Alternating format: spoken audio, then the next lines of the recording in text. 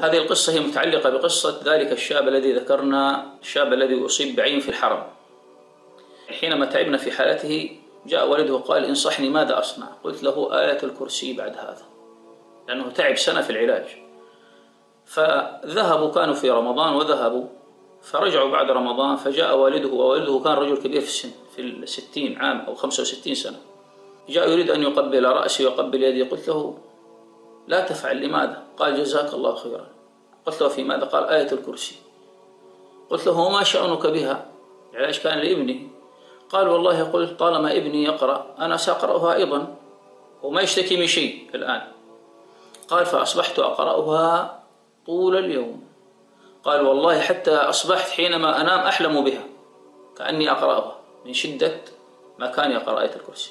قال يا شيخ في أول يوم قرأتها بهذه الطريقة قمت فتقيأت واستفرغت دم كثير جدا. قال والله المفرشة امتلأت.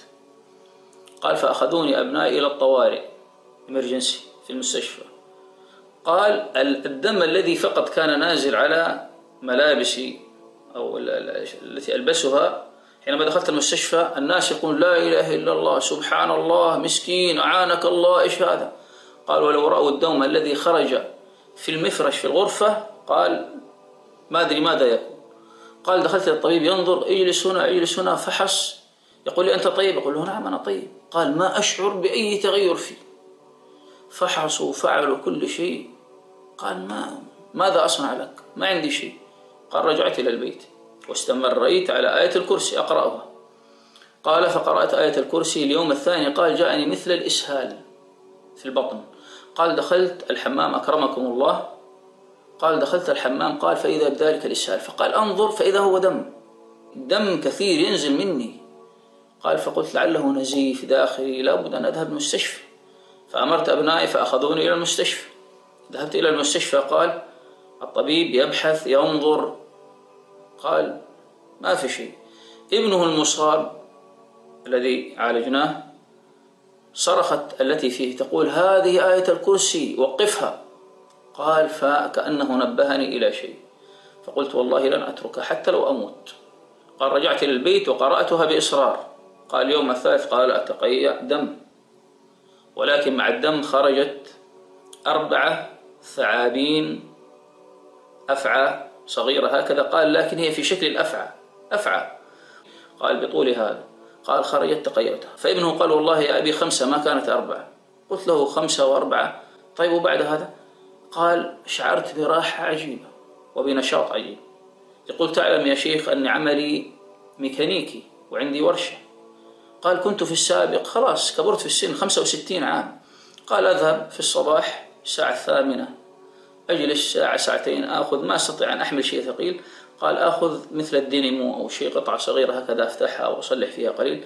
قال يأتي وقت صلاة الظهر. خلاص أشعر بالتعب والإعياء.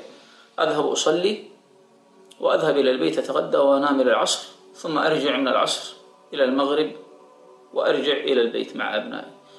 قال بعد ما حدث لي هذا الحادث قال وجدت نفسي بعد صلاة الفجر أقول لماذا ما أذهب وأفتح ورشتي من الصباح الباكر؟ قال فتحت وجلست. أنتظر أن يأتيني ذلك الإعياء والتعب الذي كان يأتيني في ساعة وساعتين قال ما وجدت نفسي إلا قد أذن الظهر وأنا بكامل نشاطي قال بعد الظهر قلت أرجع البيت قلت لا يا أبنائي خذوا لنا طعام غدا نتغدى في الورشة. ما ترجع البيت؟ قال لا ما نرجع البيت. لماذا نرجع البيت؟ يقول هذا شيء ما اعتدته إلا قبل عشرين وثلاثين سنة حينما كنت في قوتي وصحتي. قال تغدينا وذهب كل واحد في عمله قال والله جالس هكذا يا شيخ وأنظر ماطور سيارة ماكينة سيارة في الأرض. قال أنظر أقول أنا أستطيع أحركها قال فأقول إيش تحرك فيها؟ قال زمان كان عندي قوة أحرك الماكينة هكذا بيدي. قال فقمت نظرت ما يوجد أحد. قال والله مسكت هذا الماطور وأحركه قال ويتحرك معي. أسحبه عندي قوة. قال أجدها في جسدي. قال الآن النشاط الذي أشعر به والله كأني رجعت عشرين سنة إلى الوراء وبإذن الله تعالى لن أترك آية الكرسي.